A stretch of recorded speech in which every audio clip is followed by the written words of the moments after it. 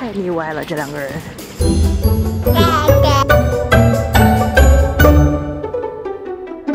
我是萨巴，这一周工作挺忙的，压力也很大，我就觉得要放松一下。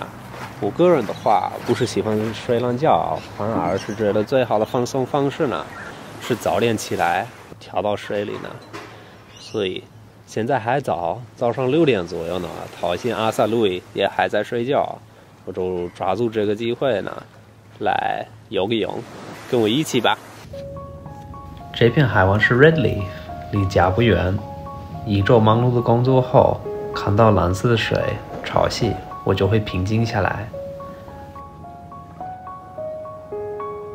如果你们想的话，也可以跳到水里游游泳，试试看，会很放松。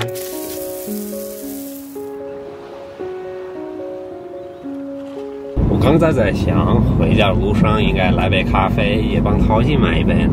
可是发现周六这么早啊，他们还没开门呢。那我们就在家里弄一杯吧。平时工作很忙，所以周末的时候，我用更多的时间陪陪孩子。这是我的第二个孩子，Louis，他总是家里最早起床的。我们会先玩一会儿，等一等哥哥起来。早上七点半，我的太太去做瑜伽了。我在家里也不能落下，边带孩子边运动。叫什么呢？我们叫蔡康。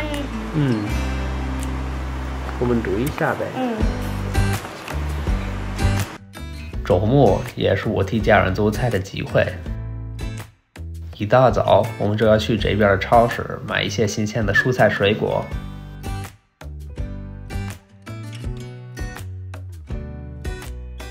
这是我的大儿子 Arthur，他好像有点饿了，我先打开一袋酸奶给他。Is that your happy face? Yes. Oh, blueberry jam. Okay. We got blueberry jam at home. Good. I'll do that. What should I have for breakfast? Oh, you can have toast. Let's do that. Why are you making tomato? 我和太太的早餐是面包、烤番茄、蘑菇和菠菜。刚刚回来的路上，阿瑟已经告诉我他想吃什么。成为爸爸之后，我发现当孩子需要自己做选择的时候，他们往往能做得很棒。不是要我过度的干涉，但路易还太小了，他不能告诉我他想吃什么，所以准备阿瑟的早餐时，也会顺便给路易做一份差不多了。他看起来也很喜欢。阿瑟今天的早饭是红色的，正好国内过年。我也认为，食物看起来刚好看，孩子吃的时候也就会更开心。Can help me clean? Yeah.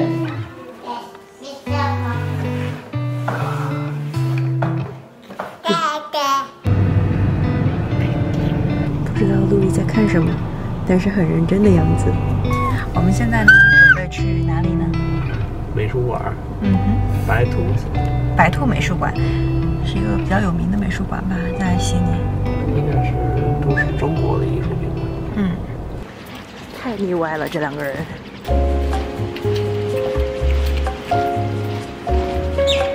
周末的时候，我也会选择到艺术馆来看展览。其实悉尼本地有很多很不错的美术馆，这家 White Rabbit 主要是展览来自中国艺术家的作品。我个人欣赏的是徐建雕塑 Hello 系列，看起来路易也对它很感兴趣。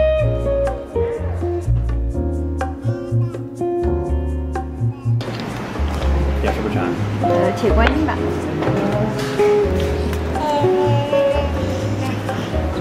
What do you want to order?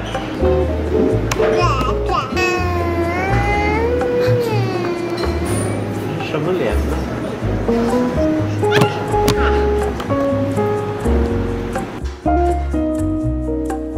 好久没有吃好久。